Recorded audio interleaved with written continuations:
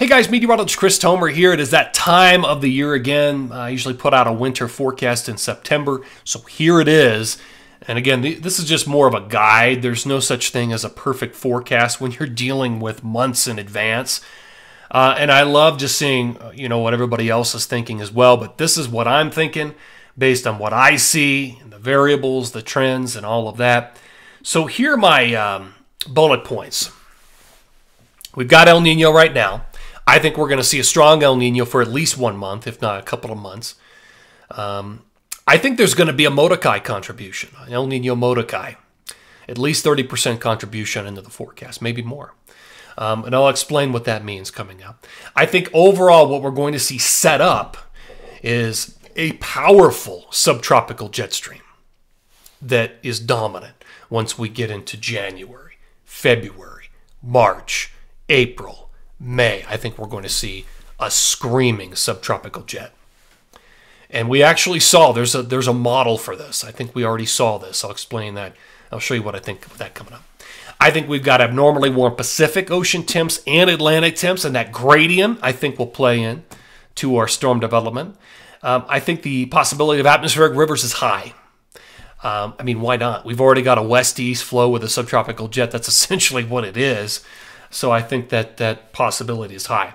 My big winners Tahoe, Mammoth, Taos, Angel Fire, Brian Head, Wolf Creek, Telluride, Purgatory, Crested Butte, Monarch. I also include Loveland, A Basin, possibly Summit County with some spillover, and the Northeast. On the bubble, Aspen, Snowmass, Vail, Wasatch. I think at least normal snowfall, if not more in those places they could easily tilt to 105 to 110%, 110% of normal if we get the right Modoki contribution. And some models indicate that that could easily happen that we tilt those areas, burst, pop the bubble, and they go with above normal snowfall. So let's jump into this. This is what we saw. This is the model. Um, the, the, this is what we saw in May, June, and early July powerful subtropical jet. I think this is a foreshadow and a mirror of what we're going to see this winter, especially January, February, March, April, May. We're going to see this subtropical jet deliver a parade of storm systems. What did it do? It nailed Colorado, for one thing, especially the front range up to the Continental Divide. I mean, we saw 100 to 300% of normal precip during those months of total precip. Look at the San Juans. 1 to 200% normal. Even the I 70 corner, and this is why I say the bubble's there, but it could easily go high for Pitkin County, Eagle County, parts of Summit County, all saw 100 to 130% of normal precip. I think we're going to see that mirrored this winter. Um, just a brief touch on Denver. I think we're going to see above normal snow. I think it could be 60 to 90 inches, which would be about 25% above the norm. Normal is 57 inches in a winter in Denver in the metro area proper. Um, and you can see that it's measured at DIA, but we it represents all of the Denver metro area. You can see that the Weather Service broke it down. Um, almost all seven of eight seasons had uh, of El Nino, strong El Nino periods had above normal snow for the Denver metro. And again, goes back to this this is what we saw, and I think it's going to mirror this. Here's where we stand. Sea surface temp anomalies are all running above normal. In fact, they all qualify for El Nino. That's where we are. You can see the red and the red colors and the orange colors around the equator in the South Pacific. That's the key area.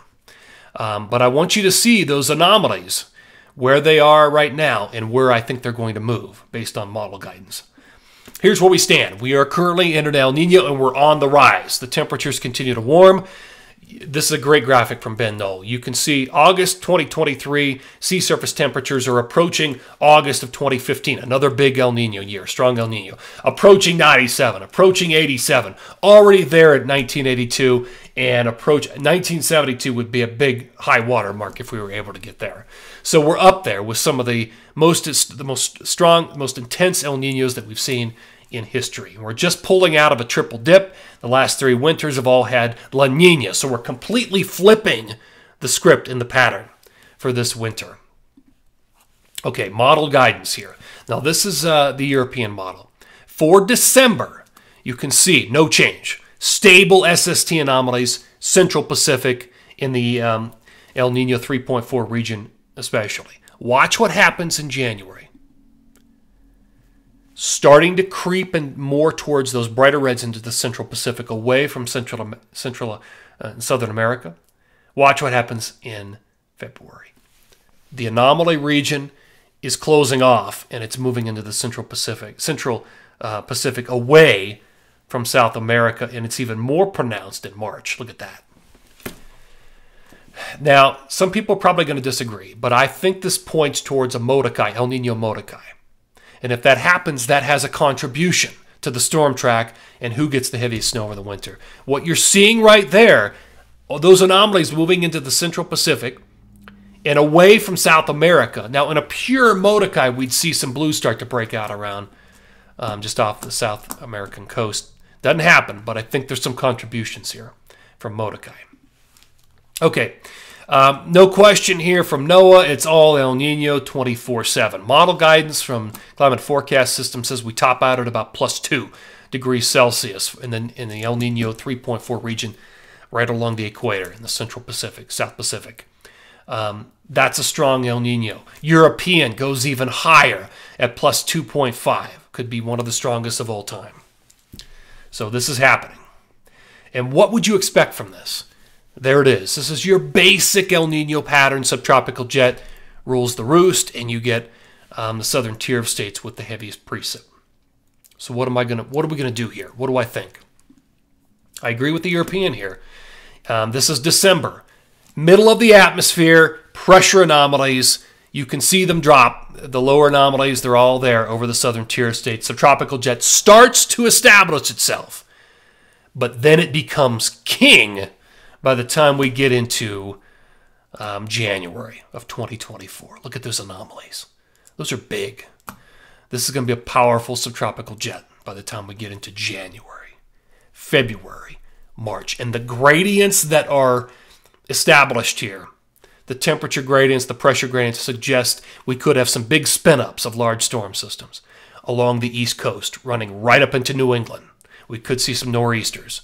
And I think we're going to see atmospheric river setup, Pineapple Express. The, pattern just lends itself to that.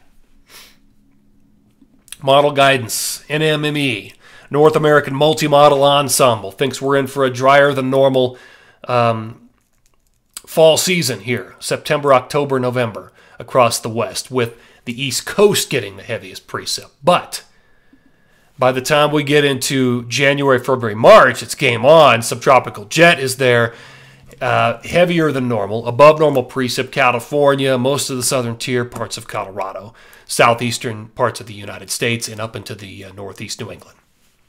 Again, NMME takes a number of models into account, and this is one of them. This model maximizes everything from NCAR. This is the CESM model, the Community Earth Systems model. You look at this model, and it just brings copious amounts of precip into California, Nevada, Utah, Colorado, New Mexico, Arizona, and parts of the southeast. This maximizes the subtropical jet and the atmospheric rivers. It's really something. If this happens, look out. But you know what? The CFS, the climate forecast system, isn't that far off. Look at March right here it's got a lot of moisture coming in on the subtropical jet. California, Nevada, Utah, Colorado, New Mexico, Arizona. Here's my forecast. When I think of everything, synthesize everything and how I feel about it and what I think and what I see. Green balls are above normal winter snowfall, California, southern Utah, a lot of Colorado. Um, normal snowfall, at least in Aspen, Snowmass Vail. Could easily tilt to 105 to 110 above normal if we get more Modoki um, contribution. And you saw one of the, you saw two models that say that is absolutely possible.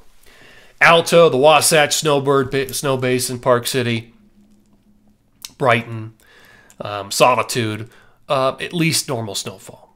But again, could easily go higher. Um, 95 to 100% of normal snowfall, Big Sky, Jackson, and below all of the orange bubbles. Zooming into Colorado, here's what I got. Uh, above normal snowfall, Crested Butte, Telluride, Silverton, Purgatory, Wolf Creek, a number of locations. Taos, all the way up through the Sangres, and up along, I think, right onto the Continental Divide. So Loveland, A Basin, Winter Park, tilting down into Denver, above normal snow. Some of that may spill over into Summit County. Um, and again, on the bubble, Aspen Vail, snowmass could go, could tilt to 105 to 110. The southwest wind here with this type of setup could be a razor. Um, it's an absolute factor when you deal with a subtropical jet, and not all resorts. A number of resorts in Colorado do not do well with the southwest wind, Vail being one of them. Parts of Aspen, not all of Aspen, parts of Aspen, some of the mountains don't do well with it. And some of the San Juans don't do either because you get a downsloping wind off of some of the terrain features. So that's a factor. In the Northeast, I've got above normal snow for most locations, normal up around Jay Peak and some other places. But I think that it just lends itself to the possibility of big storms developing with the gradients, the temperature gradient, pressure gradient, and just rolling right up the East Coast and dumping heavy snow, nor'easters. Specifics uh, 80% of normal winter snowfall, Baker, the Pacific Northwest, Banff, and so on, um, Sun Valley included. Big Sky, Jackson Hole, 95% of normal. Aspen Snowmass, the Wasatch, Vail, um, at least 100%, so normal snow, but again, on the bubble could tilt higher. Um, 105 to 110 uh, from Breckenridge to Monarch to Loveland, Winter Park, A Basin, um, and uh, Telluride.